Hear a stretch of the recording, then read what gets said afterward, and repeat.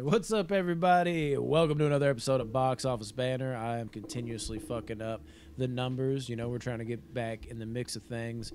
This is actually episode 91. The episode we recorded first, but will be released on Friday. Lights Out is actually number 92. But yeah, we're back on track. We're trying to get it moving again. We had a lot of shit going on with my vacation, and then COVID stuff happened and all this other stuff. But we're getting there, man. We should have a full roster again next week, and episodes are starting to roll out. We should. exactly how they should. We should have a full roster. Who knows, man?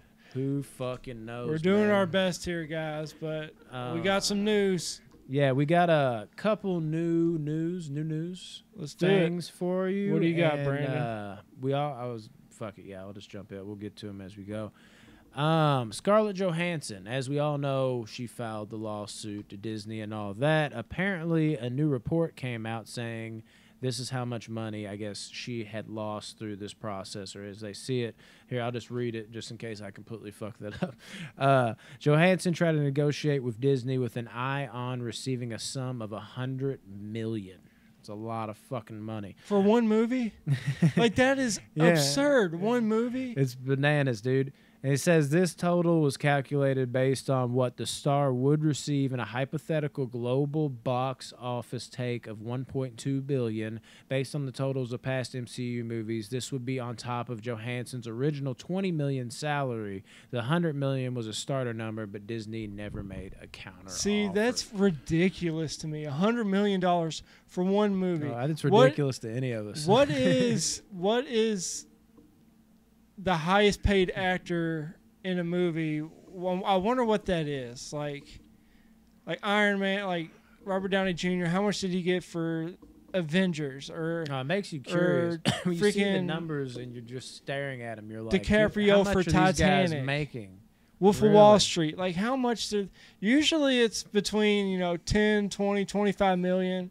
They have that uh that little club that Jim Carrey used to be in. It was like the twenty million dollar club where he, they wouldn't he wouldn't do a movie unless he's getting twenty million dollars at Oh, yeah. least. That's what got Van Damme fucked. A lot of people don't know that, but Van Damme, the reason why he had his complete fall is because when Jim Carrey released like three big Yeah, fucking man. bangers in '94, Yeah. he got greedy and thought he was a bigger star than he was, Yeah. and tried to be the most top paid guy. It All the makes drugs- sense, man. They, All the drugs were speaking, and then he basically got blackballed after that because he was hard to deal with. But a hundred million dollars for one movie, which isn't it's a great movie. I haven't seen it, but I've heard great things about it. Not I'm not bashing it at all, but there's no way it's better than, you know, like Black Panther or Oh my god, yeah. Uh, well, I mean cuz no, if the general con- everyone loves Black Panther. I think the general consensus is that, but I'm the guy that will argue that all day. well, you don't really like Black Panther?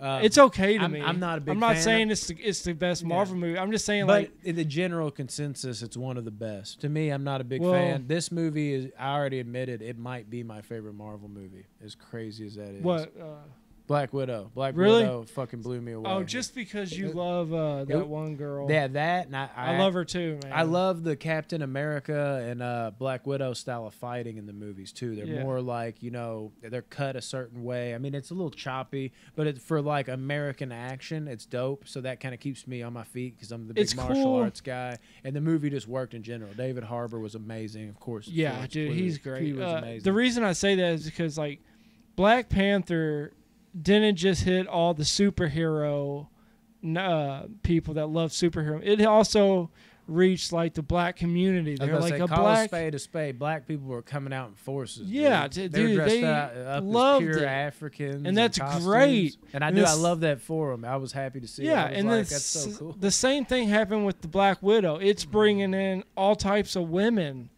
to, t- and you know, showing like a woman superhero can, like you said, make your favorite Marvel movie. Like, Yeah, man. I mean, but I- I don't think it's in the hundred million. it's in my top it. three. It's like tied with. I got to watch it again and see if it tops the other two. But yeah, it's it might be my favorite, and that's it's generally liked. You have like those like three out of ten people that are like.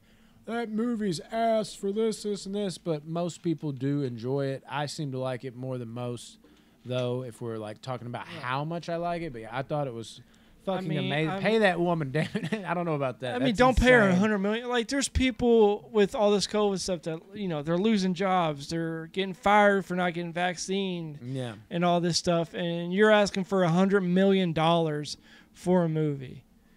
I mean, I guess if the contract, I know she lost a lot of money, but not a hundred million dollars. Like, if I, if dude, if I could act and do one movie, and if I made a hundred million dollars, you would never see my ass on TV again. yeah, like I'm cashing out. Yeah, dude, like- I don't want to get too popular. Come on, man.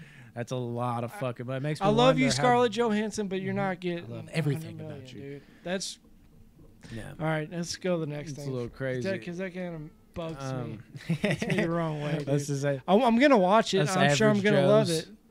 Maybe we'll start getting paid that for this podcast. Yeah, one Uh, day. Hold our breath. um, another news: uh, Christopher Nolan dropped a bombshell, as this article says. The director talking to multiple studios on film he'll direct about J. Robert Oppenheimer in development of the A bomb in World War II. So this would uh, bring Christopher Nolan back into the war setting. I'm actually a really Christopher Nolan. I don't want to say hit or miss, but he's got a few movies. Tenet being one of them, where I think he's trying too hard. It's like way too convoluted. Yeah. I need to watch it again, but like I had the pleasure of seeing it at home because that's when COVID. I still was like, do I go out yet? and I was pausing each thing, so I had the ple- the privilege of being like, let me pause it, think about this.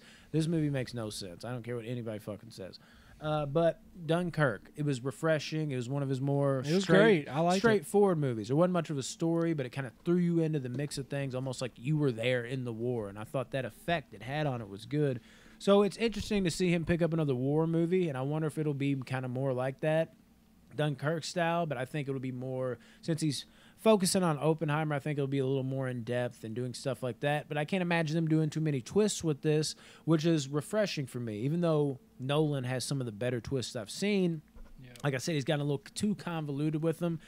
This will be more of a straightforward story where I think he dives deep, and I think that's where he needs a movie like this. So I'm interested in that, interested to see him go back to like the Yeah. war I mean, genre for sure. And just this is like I was saying, it's a development, his role in developing the atom bomb. So I mean, it could be very interesting. If anybody could do this, Christopher Nolan's definitely. well, one. yeah. I mean, Christopher Nolan. He's one of the better better directors out there today. You know, if he if he makes a movie, I guess say No- ever at this point. He, Yeah, I he's mean, changed cinema. if he Yeah. makes a movie, no matter what it's about or you know the plot or anything, it's gonna it's gonna be good. It's either gonna blow your mind or confuse the fuck out of you, Yeah. or It's it's, gonna have you feeling a certain type of way when you go see the a Christopher Nolan movie. Just like the Batman's, man. The Yeah. Dark Knight, Yep. one of the best movies ever. It's just Christopher Nolan knows what he's doing, so I, I trust him that this is going to be a very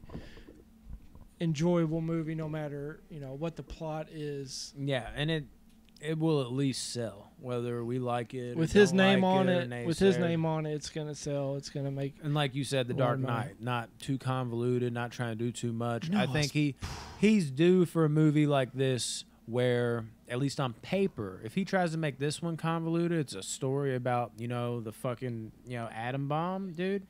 I mean, or A bomb, yeah. Like wh- how could you make this convoluted? If he tries Yeah. to somehow make this convoluted, it'll be a big fucking mistake. But I don't think he'll do that because as much as he does that, that's with original properties.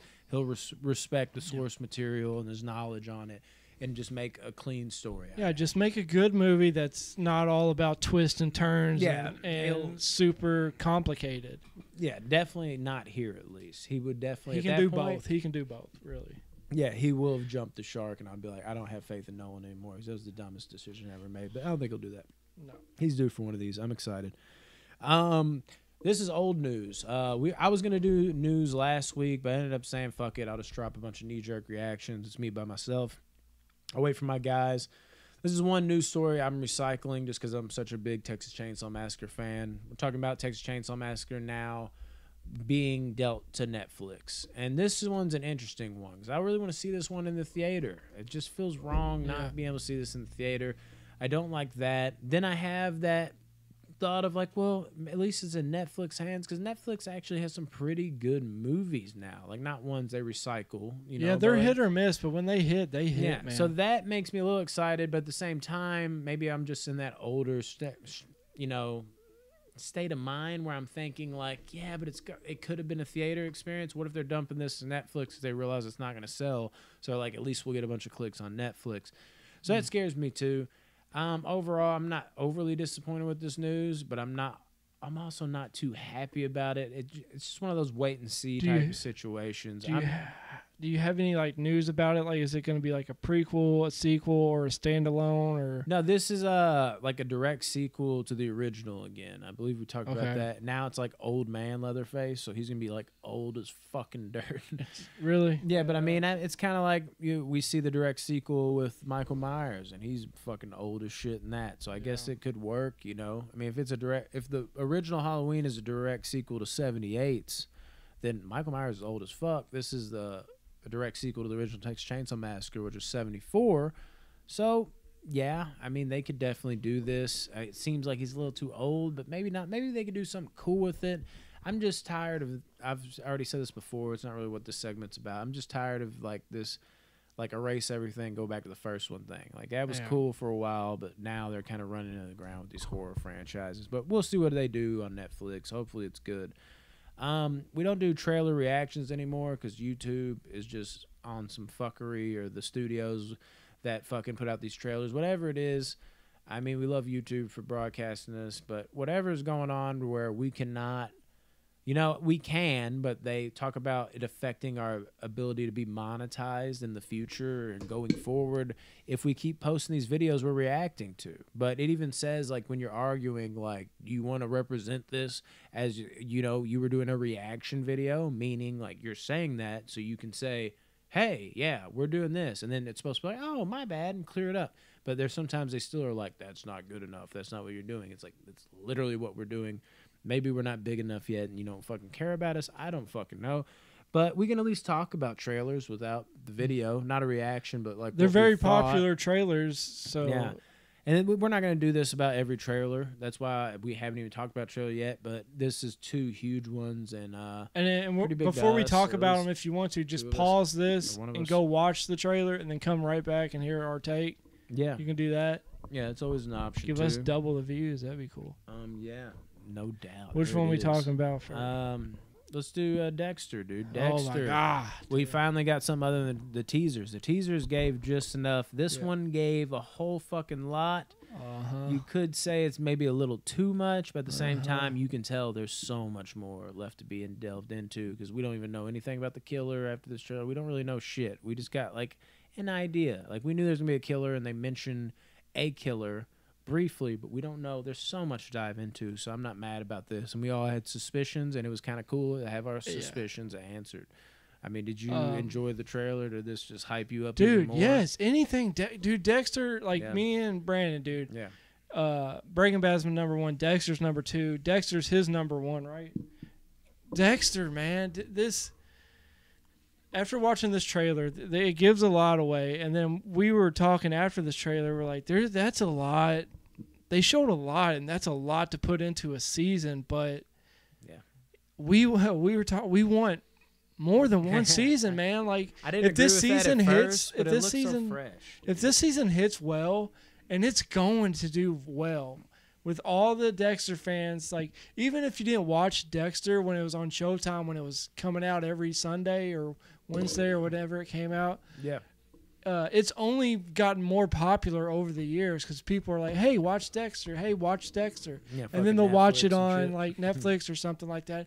Dexter's only gotten more popular, and I and with this season it showed a lot, and I'm like, there, there's got to hopefully to God they make another two or three seasons. I'm just one of them people when I find a show like Dexter or Breaking Bad, I don't want it to end, man.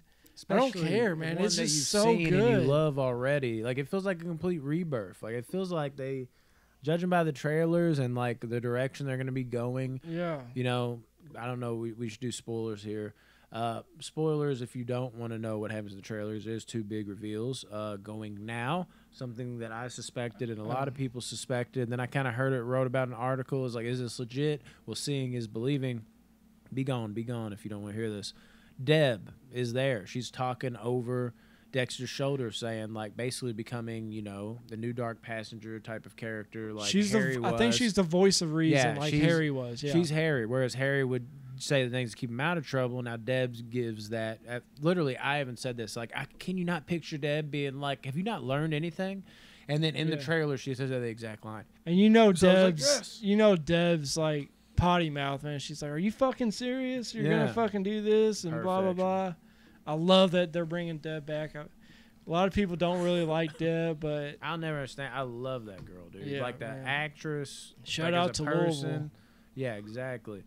One of the best our- criers on TV. No, dude, I swear. Some people are like she's annoying. It's like, dude, not like I believe every time she's sad times a hundred. Yeah. And just the thought of that, and then at the very end of the trailer, if you stay tuned, that last little clip after it's like Dexter Showtime, they give you one more thing.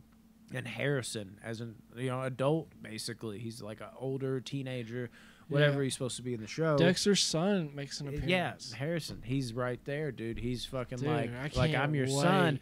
Now, just those two things tells me like, yeah, we could cram all this into one season. But think about a fresh start with Deb as the person voice of reason, like you were saying, the vor, as I Yeah. would call it, if we would abbreviate it, uh, and Harrison coming into his life and like the trials and tribulations that that could cause. You know, what I mean, they could What? do some more with this than one season. I don't necessarily want to drag it out, but now that like some of like my thoughts have been confirmed and like some other ones that we're hearing like it's like man maybe they could do more with this. Like you even said like give me more see i was like let's not do that dude because like i don't know how much they have to give but like i'm on board with that too now like with everything i've seen some beliefs have been confirmed. I just feel like it's a completely fresh start. What if Harrison's the, the the killer in the season, and then yeah. he meets up with Dexter, and Dexter's like, "Oh wow." It could Uh, be yeah who this knows, man? kind of weird he's got a he's supposed to kill his son Dexter's apparently in a relationship with a cop. yeah that's interesting Like, yeah, that yeah. was like I was like he's getting pulled over, and then uh, yeah, out Yeah. of nowhere, and it kind of got happy for a second, then got a little darker, and was like, oh, reveals, and then it was like, oh shit, here we go.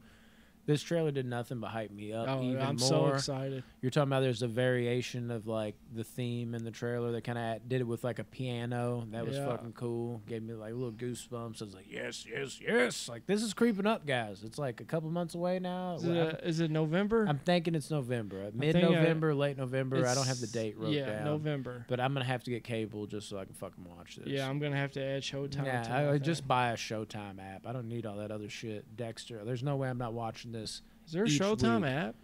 I'm sure there is. I'm sure that's what I'm saying. There's gotta be. I mean, you can have Hulu and get Showtime, but then I don't know if they do like the live.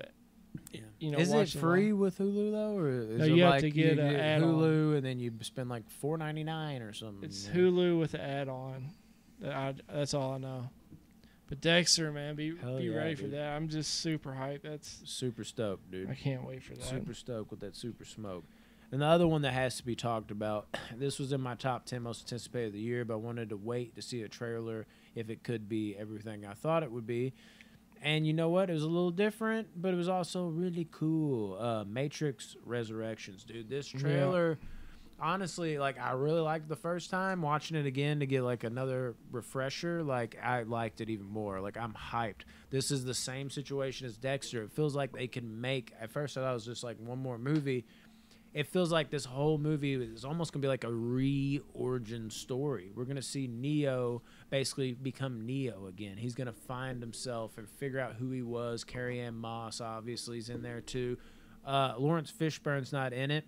I do have a thought though. Uh, I forget dude's name. Guy was the star of Candyman is playing Morpheus now. But I wonder if that's like a maybe there's a twist or something at the end where Laurence Fishburne comes back as Morpheus and like maybe uh, the guy from Candyman is only playing uh, Morpheus in like the real world or whatever the Matrix world, like one or the other type of thing. Maybe that could be like a cool little spin. And uh, I mean that's just what this movie is. It looks like it's it's basically going to be like an origin story. It's going to be uh, Thomas, as they call him in the trailer. I guess I can't really remember it. Maybe that was even uh, Neo's original name. For they told him he was Neo. Uh, that is going to be interesting. I feel like it's going to be the whole movie. It's going to be a build up to like who he is, who he is, and at the end he's going to become who he is. Remember he's Neo, and it's going to be epic because we're all going to be like, oh my god, is he now? Like it's gonna be fucking insane. You know, Carrie-Anne Moss is gonna be like, "Oh, just it out." Like you're gonna be losing your shit if you're a big Matrix fan. Which Yeah. for me, I like the second. Think the third's not bad, but it's the epitome of average. The first one is an all-time action classic. It changed fucking cinema. So I'm a huge fan for that alone. And like we're gonna be geeking out on that. And you're telling me that we're watching a whole movie, at least as it looks on the trailer, it's all been go by of him trying to find himself, find himself, and they all kind of find themselves at the end of the movie, and it's just gonna be over. No, you're gonna be like, now they who they they're who they are again. I want to see them again in a full movie as Neo, Trinity, Morpheus, all that all over again. So you're definitely, especially the cells, gonna get more than one movie, and I'm excited for that now that I'm kind of putting that into perspective. I don't know how you feel about it. The trailer, fucking yeah, the trailer looked for me, amazing actually. So Yeah, uh, NPH in there, dude. Neil Patrick Harris. Yeah. cool. good Yeah. Neil. Good old Neil. Yeah, I'm hyped for this shit, man. Um, you got anything else to add? Anything? Anything? Uh, Jackass Four got pushed back. Mm-hmm. That was another one of the last week's one. But if you haven't heard uh, it, do a quick run through of some of that stuff. Is Oh no, Jackass Four got pushed back, which sucks. And then uh, Top Gun Maverick comes out Memorial Day. When is Memorial Day? You see, like I found out what Memorial Day is like a week before Yeah, at my too. job when they're like, "Hey, we're off on Monday" or whatever it is. I don't know the exact date. I guess it's not. You know, I don't know. Just don't. Um, Just gotta be honest about that. uh, May. So it's not going to come out until 2022. yeah, Damn sounds it. about right. Like motherfucker, they'll probably push it back again. Yeah, dude, this sucks. But I think uh not hundred percent sure. I Should have wrote this down. Um, Venom again got moved around. I think it got moved to like October first. I want to say. this year though, right? Yeah, yeah, that's fine. yeah. But it got moved. It got pushed back to the same day Halloween Kills is released, which I hated because then Venom would get the IMAX treatment, so I couldn't see Halloween Kills in IMAX. Because you know Yeah. they show one movie in IMAX, so that hurt me at least at our theater. And then I was like, also, Halloween Kills is gonna have to be battling with Venom, even though I could see it winning. Still, it's like a superhero kind of movie. I didn't want that for Halloween Kills, so like, if that is in fact true, I'm almost 100 percent sure it is. It's been pushed back now a couple weeks back towards, uh, you know, sooner, October 1st. So that helps out Halloween Kills, yay! And then actually, uh, you know, I can see Venom probably now because I wasn't gonna see back-to-back movies or anything unless it's something that merited it. And Venom, I want to see it, not too too much, but yeah, a little add-on at the end there. Yeah. And anything else? no, no, I guess that's Mm, it. This news. Uh, follow us on Instagram and Spotify at the official box office banter, YouTube at box office banter, and join our Facebook group at box office banter movies and also box office banter. You. Yeah.